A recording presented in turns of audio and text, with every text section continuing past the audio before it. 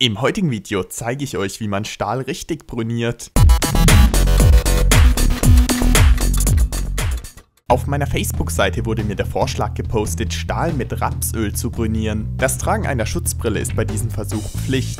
Für den Fall, dass ihr keine zu Hause habt, habe ich mal einen Link in die Beschreibung gepackt. Für diesen Versuch benötigen wir einen hitzebeständigen Behälter, wie diese Blechdose hier, und etwas Rapsöl. Jetzt nehmen wir uns einen Gasbrenner und erhitzen unser Stahlteil. Je heißer es wird, desto effektiver wird es brüniert. Circa 500 Grad Celsius sollten reichen. Sobald der Stahl diese dunkelgraue Färbung erhalten hat, ist er circa 400 Grad heiß und sobald er anfängt rötlich zu glühen, circa 680 Grad. Jetzt müssen wir das heiße Stahlteil in das Rapsöl geben, aber Vorsicht, hierbei besteht die Gefahr für heiße Ölspritzer oder gar Stichflammen. Deshalb sollte dieser Versuch unbedingt draußen durchgeführt werden. Wenn ihr alles richtig gemacht habt, hat sich das Öl nun auf der Oberfläche des Stahlteils eingebrannt und sogenannten Edelrost gebildet, welcher für diese tiefschwarze Färbung verantwortlich ist und gleichzeitig einen guten Korrosionsschutz bietet bedeutet, es kann sein, dass beim ersten Vorgang die Brünierung nicht gleichmäßig oder unvollständig ist. Wenn dies der Fall ist, müsst ihr das Ganze einfach wiederholen und den Stahl etwas heißer erhitzen. Drückt den Abo-Knopf und gebt einen Daumen nach oben, wenn dir das Video gefallen hat. Und schaue dir unbedingt noch mein Video an, in dem ich Stahl mit Essig brüniere.